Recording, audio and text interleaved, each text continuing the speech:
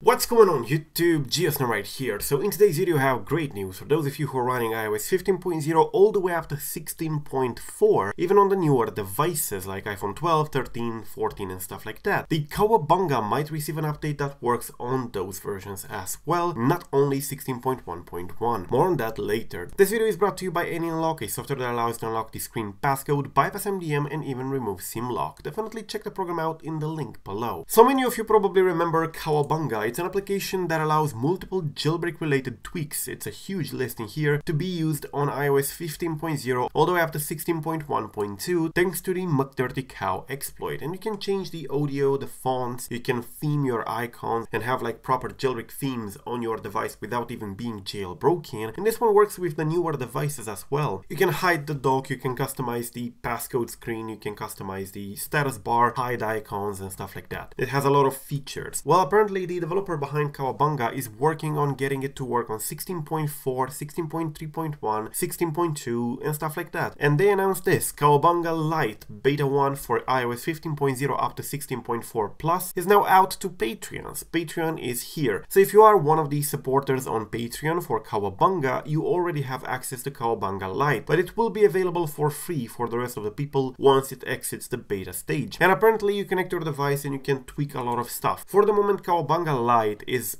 basically a light version of Cowabunga as the name implies. It doesn't have all the tweaks that Cowabunga has because McDirtyCow exploit is patched. Yes, McDirtyCow exploit works only up to 16.1.2, so theoretically Cowabunga should only work up to 16.1.2. I have no idea how they got it to work on 16.4, even if it's only a couple of tweaks for the moment. Anyway, as you can see here for the moment, the Cowabunga Lite on iOS 16.4, 16.3, 16.2, it can do icon theming, so themes, status bar changes, springboard options, and stuff like that. It is a little bit more minimalistic than the Cowabunga. As I said, the exploit that powers Cowabunga doesn't exist on iOS 16.4, neither it does on 16.2 and stuff like that. So it's a marvel of engineering that they even got it to work with those versions to begin with, since McDirtyCow is not available. You can see here the Cowabunga Lite theming platform. You download the theme, connect your device, and it applies the theme, and you have a theme on 16.4, iPhone 14, without even even being jailbroken. This doesn't require a jailbreak at all. So this is actually great. It looks like the developer is deep down into development for this and they said in here that when it's entirely ready it will release for free to everybody. But it's important to know that it requires a PC to use. Cowabunga Lite requires a PC on 16.4, 16.2, 16.3. It cannot be done on the device because there is no exploit available. So the way it works is through a PC. Recently the developer made available a list of the features Cowabunga Lite has on 16.2 and newer. It says in here easy shortcut theming with no banner, status bar tweaks, custom carrier, OTA killer, supervision, LS or lock screen footnote, mute module in the control center, and other minor toggles. If you're running 16.1.2, however, you should definitely not update, because if you're running 16.1.2, you can have the full Cowabunga deal, which contains a lot more tweaks, but this one is based on the McDirtyCow exploit, which doesn't exist on newer versions. Anyways, we also keep a downloads page with all McDirtyCow tools if you want to check them out. And Cowabunga is also included in here. You can download the latest IPA. You can also get other McDirtyCow related applications like Filza Escape, Santander, Troll Tools, Trollbox, which allow you to tweak your device. Definitely check the page out below. But yes, it looks like a form of Cowabunga tweaking system will come to iOS 16.2 and newer on all devices. Thank you for watching, I am. Till the next time, subscribe to stay updated and peace out.